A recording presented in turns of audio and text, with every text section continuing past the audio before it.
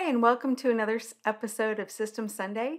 Part of spring cleaning your cluttered digital space is having things set up so that you also have peace of mind, which creates more space in your cluttered life by not having to worry when things go wrong.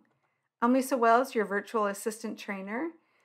Let's face it, files will accidentally get deleted, your website will get or may have already been hacked you may or may not be in compliance with IRS regulations when it comes to file archival and retention.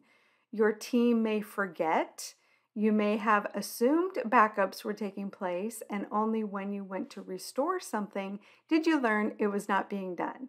We are all human and things are going to happen, which is why it's super important you have a backup plan. In this episode, we'll be talking about backup basics and contingency planning because I don't want you to be left unprepared and unprotected. I go over why you need a backup system, common myths, plus my four point web security plan.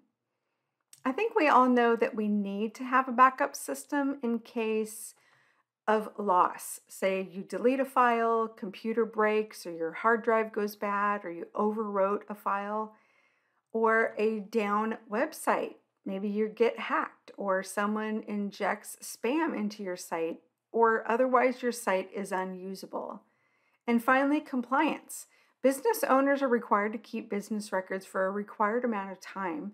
The IRS and regulatory commissions don't care if you have a data disaster. All it means to them is that you're not compliant and they can come after you. So, here are some of the more common reasons why people may not have a backup plan, what I call most popular excuses. One, I keep everything in the cloud. And cloud storage is great, but it only works for files and it's limited at that. So, for example, if you are using Dropbox account and you overwrote a file and you want to restore the file you had from six weeks ago, you can't do this. Second, hosting provider does it for me. I, I had a client who believed that, and she thought someone on her team was doing her backups. And only until we had to do a restore did she find out that it was not being done. And there could be other reasons. Maybe the restore service was limited, like the backup restore that your hosting provider is limited. Uh, maybe it costs extra money that you didn't want to pay for an upgraded plan, or otherwise it just didn't get activated. That's a very common reason. I use an external hard drive or you copy files to a hard drive.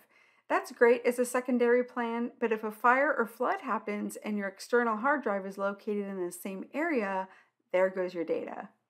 So don't be passive about this very important part of your business. Have a plan in place in order to prepare because 10% of hard drives fail within three years hackers are working 24 7 to mess with you, and we are all human and we're going to make a mistake at some point.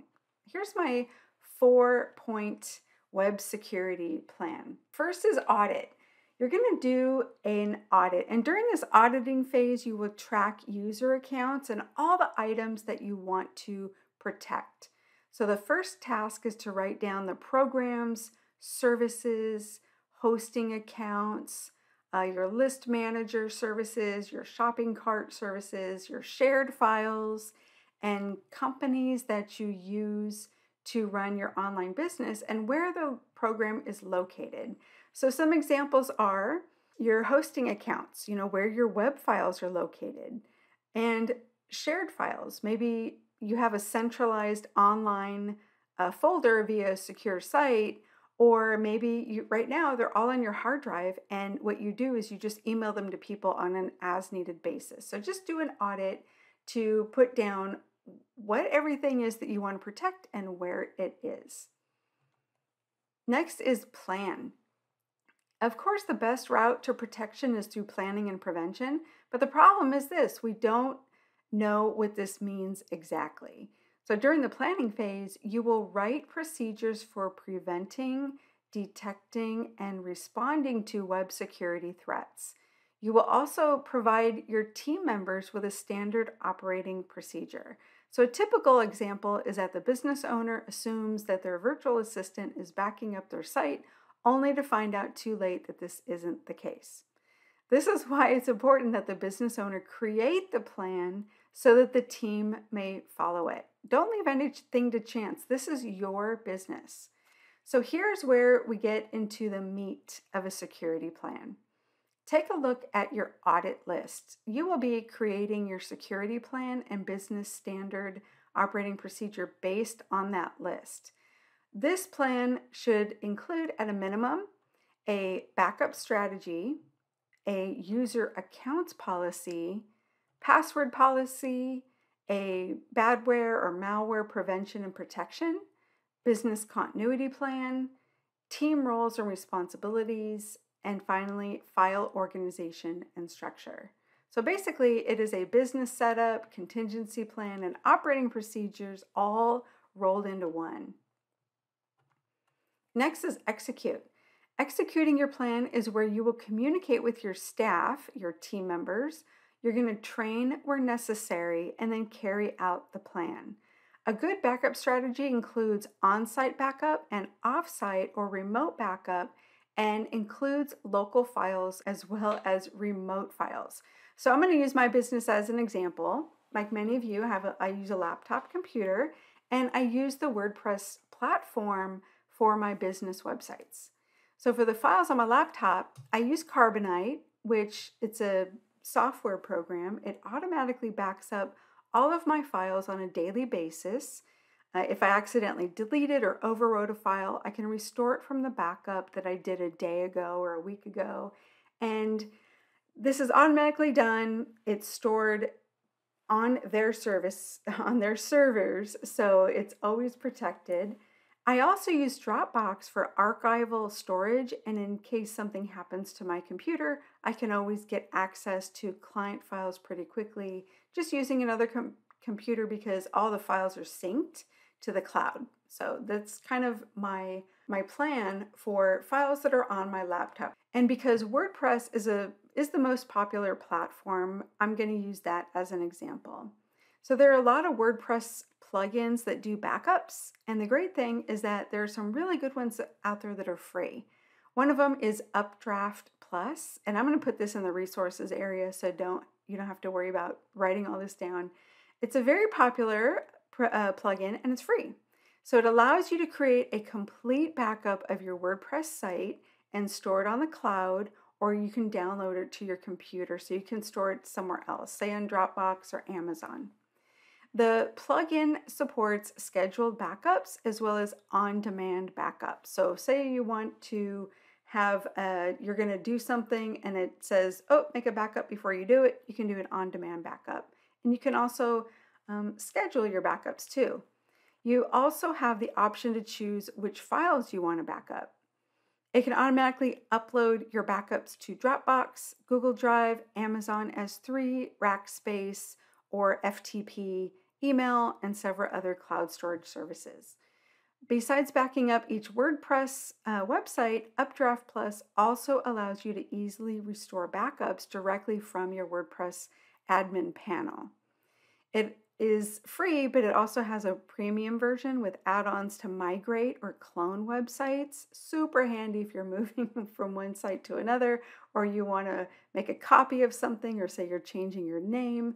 It has database search and replace, multi site support, and several other features. So there is a, a premium paid version you can get as well.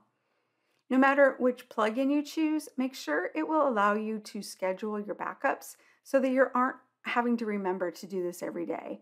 And also be sure to store your files that are created during the backup in a place that's separate from your website.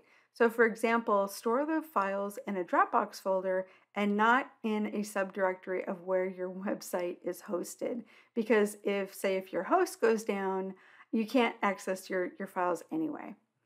As for the schedule, you can you can always check with your hosting company to see if they do this for you. And if they do, ask about is it automatic, when is it done, what's included, how to go about doing a restore. Make sure you know all this up front so that you're not, you know, at the in times of emergency not knowing what you need to do.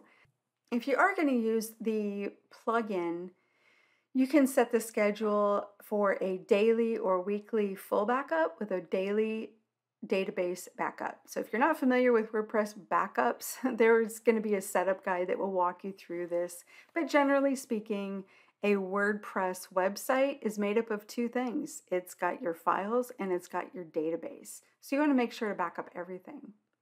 If you use different types of hosting platforms other than WordPress, do a Google search to see what backup systems are recommended, but the same backup strategy can be applied no matter the method.